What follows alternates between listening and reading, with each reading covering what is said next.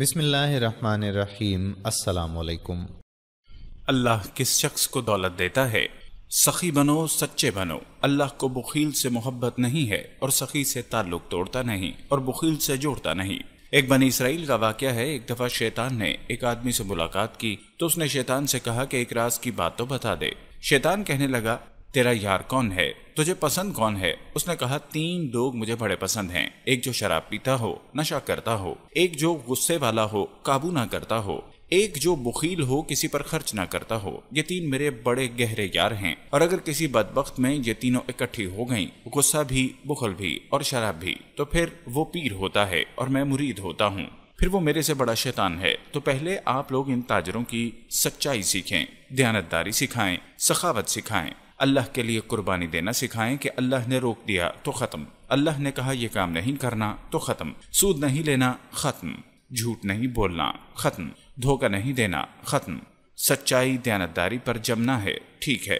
جاتا ہے تو جائے، آتا ہے تو آئے۔ رزق تو اللہ کے خزانوں میں ہے۔ اس معاشرے کے ساتھ یہ نسل اگر چلے گی تو یہی کرے گی جو یہ کر رہے ہیں۔ پھر آپ لوگوں کے پاس بھی اس جمع تفریق، ان کے سارے دماغ جمع تفریق بھی کھپ جاتے ہیں۔ پتہ ہی نہیں ہے کہ نبی کون تھا، کیا تھا۔ کبھی سنتے ہی نہیں ہیں۔ میرا نبی کون تھا اور وہ کیا تھا؟ رہبری کا حق لے کر تو وہ تشریف لائے تھے۔ انہوں نے سچائی سکھائی، دیانتداری سکھائی، محبت سکھائی، حیا کو سکھایا، پاک دامن کو سکھایا، سخاوت کو سکھایا۔ حضرت علی سے کسی نے پوچھا کوئی حسرت، کہنے لگے جتنا علم تھا اتنا کسی نے نہیں لیا، جتنی سخاوت تھی اتنا کسی نے مانگا نہیں۔ تو اللہ کو سخی پسند ہے، مال خرچ کرنے والا پسند ہے۔ مالدار ہو، ایک ہوتا ہے بخیل۔ اللہ تعالیٰ کہتا ہے کہ بخیل جہنم کے قریب، اللہ سے دور اور لوگوں سے دور، جنت سے دور۔ سخی اللہ کے قریب، جنت کے قریب، لوگوں کے قریب، جہنم سے دور۔ جب بنی اسرائیل نے بچڑے کی پوجا کی تو اللہ نے کہا، سب کو قتل کر دو۔ جب سامری پکڑا گیا، جس نے شروع کروایا تھا،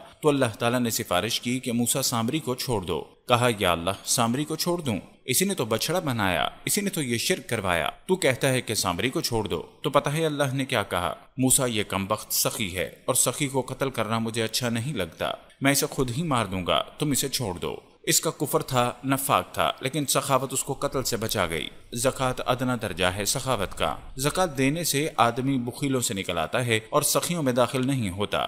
بیچ میں آ کر کھڑا ہو جاتا ہے، اس پر بخیل کا لیبل بھی نہیں، اس پر سخی کا لیبل بھی نہیں، درمیان میں آ جاتا ہے۔ ایک دفعہ خسرو پرویز کے دربار میں ایک مچھیرا مچھلی لے کر آیا۔ اس کو بڑی اچھی لگی۔ اس نے کہا، اس کے ہزار دینار لے لو۔ تو جب اس کو دی تو اس کی بیوی شیری نے اس کے کان میں کہا، اتنی بڑی دولت تو نے مچھلی پر دے دی۔ تو خزانہ خالی ہو جائے گا۔ یہ مچھلی واپس کر دو اور پیسے اس سے لے لو۔ تو خسرو پرویز نے کہا، میں اتنا بڑا بادشاہ۔ مجھے شرم آتی ہے کہ میں اس سے پیسے واپس لوں۔ میں نہیں لیتا وہ کہنے لگی، میں تمہیں طریقہ بتاتی ہوں اسے بلا کر پوچھا کہ یہ مچھلی نر ہے یا مادہ؟ وہ کہے، نر۔ تو تم کہنا ہمیں تو مادہ چاہیے تھی۔ واپس دو۔ وہ کہے گا، مادہ، تو تم کہنا ہمیں نر چاہیے تھا، پیسے واپس کرو۔ بادشاہ نے اس شخص کو بلایا۔ بادشاہ نے پوچھا، یہ مچھلی نر ہے یا مادہ؟ مچھرا بولا، نہ نر ہے، نہ مادہ۔ بادشاہ نے کہا، چار ہزار اور دے دو۔ بیچ کی چیز ہے۔ میں نے کہا نا زکات دینے والا سخی نہیں ہوتا۔ سمجھ رہے ہو؟ زکات دینے والا بخیل بھی نہیں ہوتا، سخی بھی نہیں ہوتا۔ بخیلوں سے نکل جاتا ہے اور سخیوں میں انٹر نہیں ہوتا۔ ڈھائی روپے پر ایک پیسہ بھی زیادہ کر دے تو سخیوں میں نام آ جائے گا، پھر سخاوت کی حد کوئی نہیں۔ اس نے کہا، حضور، یہ تو بیچ کی چیز ہے۔ خسرے نے کہا، چار ہزار اور دے دو۔ تو شیری کو بڑا غصہ آ گیا۔ آٹھ ہزار تو اس کی آٹھ پشتوں کو کافی تھا۔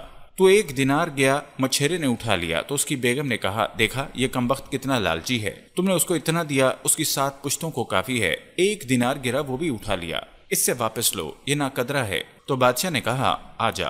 اب تجھے میں نے اتنا دے دیا، ایک دینار گر گیا تھا، تو نے کیوں اٹھایا؟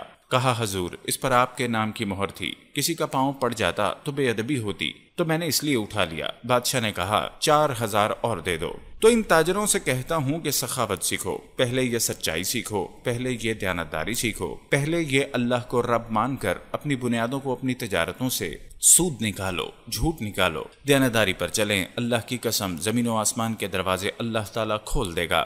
غریبوں پر خرچ کریں کہ اللہ تعالیٰ کو پسند ہے۔ اللہ چاہتا تو سب کو مالدار بنا دیتا، لیکن بعض کو بعض کا حاجت مند بنا دیا کہ اللہ کو دینا پسند ہے۔ اللہ پاک کو محبوب ہے سخاوت۔ ایک صحابی آئے کہ، یا رسول اللہ ضرورت مند ہوں، میری مدد فرمائیے۔ تو آپ نے فرمایا، ابھی تو میرے پاس نہیں ہے۔ اس نے کہا، تو میں لے لیتا ہوں کسی سے۔ آپ میری جگہ پر دے دینا۔ آپ نے کہا، ٹھیک ہے۔ تو حضرت عمر پیچھے سے بولے کہ، یا رسول اللہ، یہ کیا بات ہوئی؟ آپ کے پاس ہے آپ خرچ کریں۔ آپ کے پاس نہیں۔ اور آپ اس طرح لوگ آپ کے نام پر قرض اٹھائیں، پھر آپ دیتے پھریں۔ یہ نہیں کرنا چاہیے۔ تو پیچھے سے ایک اور صحابی عبداللہ بن خزیفہ نے کہا، یا رسول اللہ، خرچ کریں اور عرش والے سے تنگی کا ڈر نہ کریں۔ تو آپ مسکرائے اور کہا، مجھے اللہ سے اسی بات کا حکم ہے کہ میں خرچ کروں اور عرش والے سے تنگی کا ڈر نہ رکھوں۔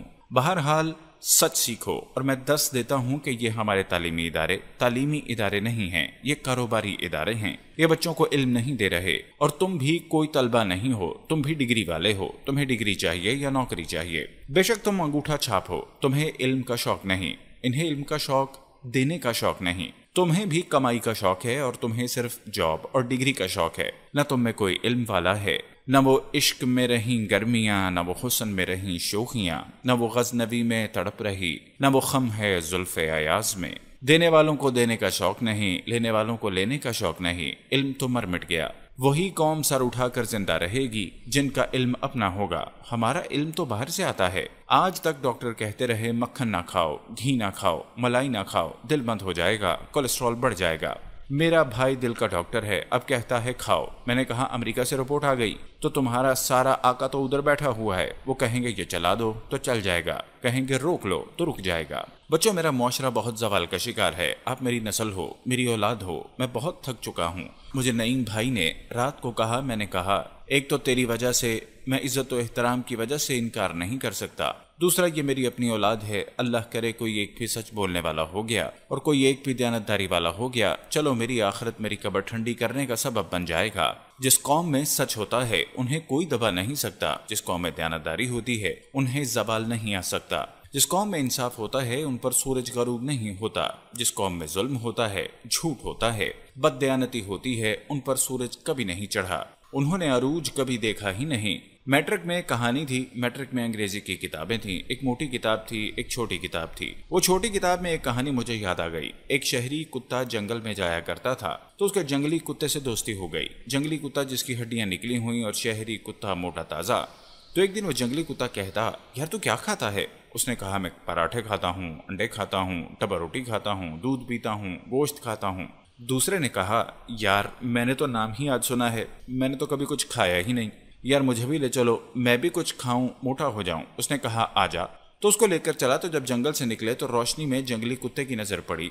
گلے میں پٹا ہے۔ تو کتا کھڑا ہو گیا اور کہنے لگا میرے بھائی، یہ کیا ہے؟ اس نے کہا، یہ پٹا ہے۔ اس نے کہا، یہ کیا ہوتا ہے؟ اس نے کہا، یہ غلامی ہے۔ میں کسی گھر کا ملازم ہوں، میں ان کے گھر کا پہرا دیتا ہوں، میں ان کی نوکری کرتا ہوں۔ پھر وہ مجھے انڈے کھلاتے ہیں ڈبل روٹی کھلاتے ہیں۔ اس نے کہا، بھائی، تجھے تیرے پراٹھے مبارک، مجھے میری آزادی مبارک، میں آزادی میں بھوکا رہوں، یہ مجھے زیادہ پسند ہے، اس سے کہ کسی کی نوکری کر کے اور میں یہ کسی کا غلام بن کر یہ انڈے پراٹھے کھاؤں۔ پوری امت مسلمہ اس وقت وہ شہری کتے کی مثال ہے۔